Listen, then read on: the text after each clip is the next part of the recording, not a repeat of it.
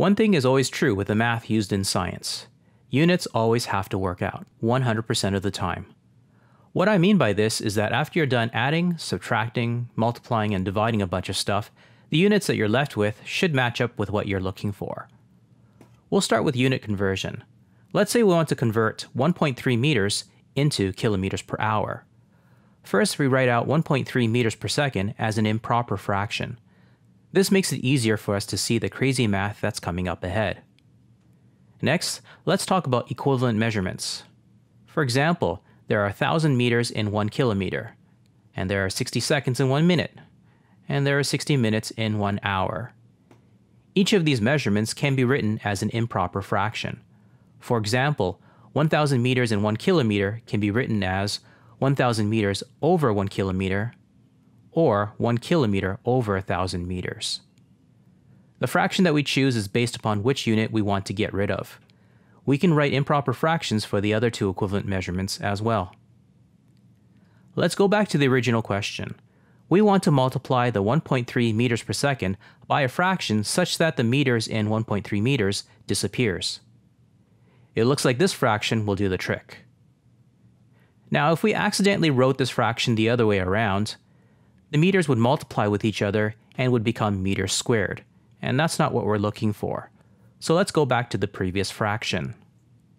We've taken care of meters so far. Now let's take care of the seconds. Seconds is in the denominator, so we'll need seconds in the numerator so that they can divide each other out. It looks like this fraction will do the trick.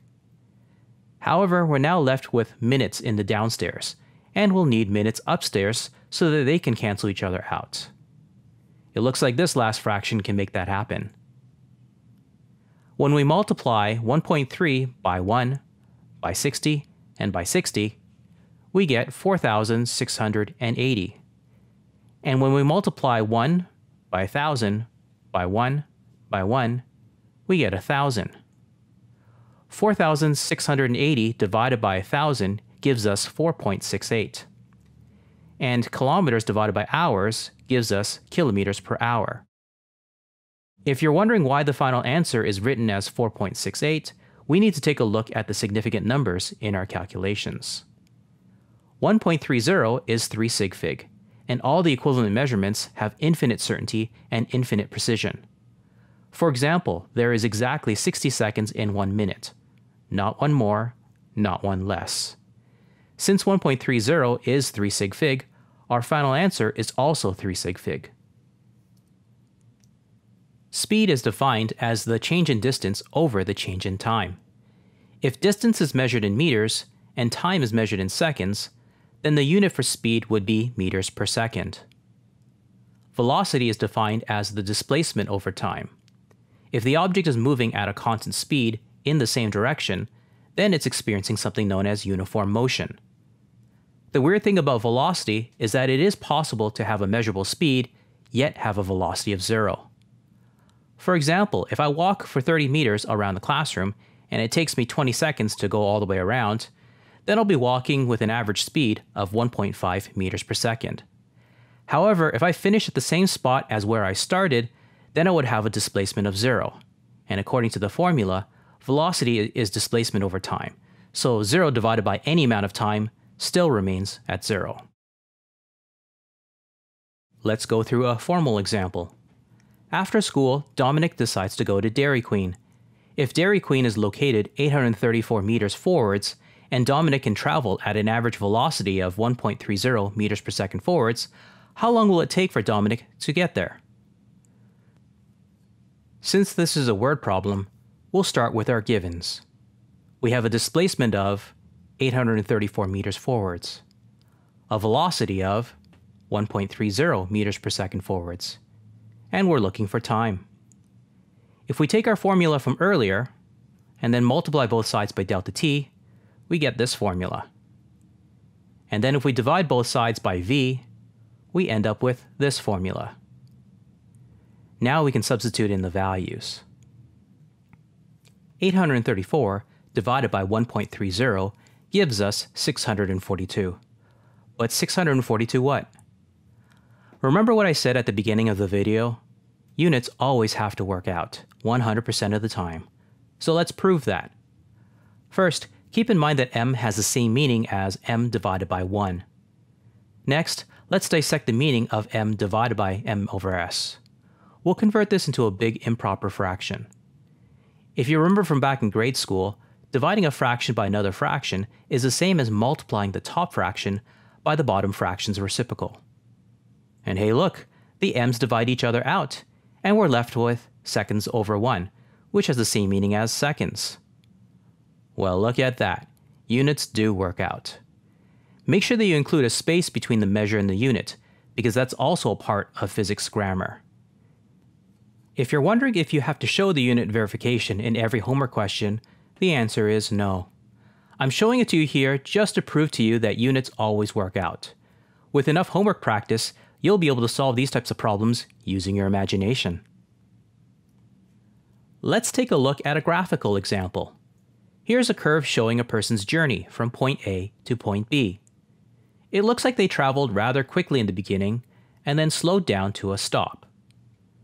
The question is asking for the average velocity from point A to point B, and the best way to average things out is with a straight line. So let's determine the velocity from both extremes.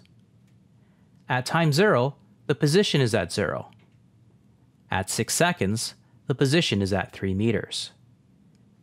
To find average velocity, we divide displacement by time. Remember that the definition of displacement is change in position, so we'll expand the formula.